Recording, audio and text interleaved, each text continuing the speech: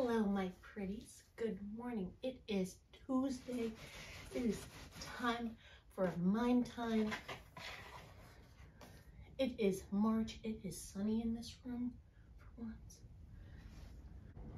And congratulations to Panda Eyes for winning this, well, last month's February's mystery box.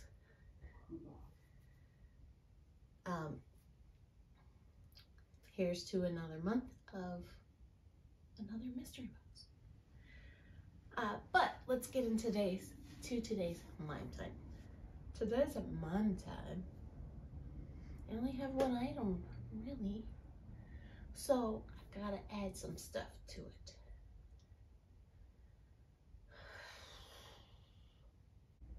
All right, so before I get into what we have today, let's get into the informational portion of this video. For anyone who is new here, hi, I'm Gladys. On this channel, I mainly do unboxings, except for Tuesdays. On Tuesdays, I do a get ready with me called a mime time because I am silent. Except for the beginning and the end. Uh, um, just because I can't get ready and talk at the same time. It's this is just my woo-ta, you know, time before the craziness of work.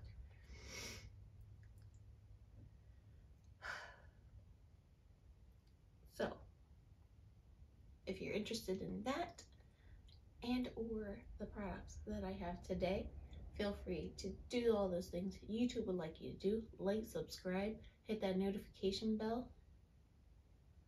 I don't know if it actually works. Um, and join me. If not, just move on to the next. It's okay. I'm old enough, I can take it. You're not going to hurt my feelings. Unless you leave me a nasty comment, in which that's just rude. With that said, let's get into our products for today. All right, so today's the mystery box that the product, the one product I have is from Sydney Grace. It is the Tiny Marvels palette. This did not come in my mystery box, mystery bag. I gave all of that away. Um, this I bought separate because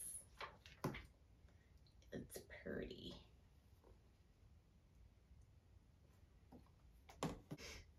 So that's what I'm going to be using on my eyes today. Um, I'm going to be going in with the Pretty Vulgar Nesting Bitch Face face palette because I like it. We're going to be finally using the Pinky Rose Pump Up Your Base uh, base primer base sticks in Latin. This is a multi-functional item. You can use it on the lips, you can use it on the eyes. Today I'm using it on the eyes because it's a beautiful red color. And as far as the other products go, we are going to be using the KVD uh, True Portrait Foundation in 027 medium. I'm almost, not almost done this, but almost done my collection of primers for this. And the Clinique Beyond Perfecting Foundation Concealer in one linen. That's it for that over there. We're going to be using the Patrick Ta Shaping Wax in clear for my brows with the Winky Lux Unibrow. We have the Pretty Vulgar Eyeshadow Primer and the NYX Glitter Glue. We have the Kokie Fix It Up Matte Setting Spray. It's Been one of my favorites. This is the Real Her I Am Amazing eyeliner. Another item. I've been liking the Laura Mercier Matte Radiance Baked Powder in zero one.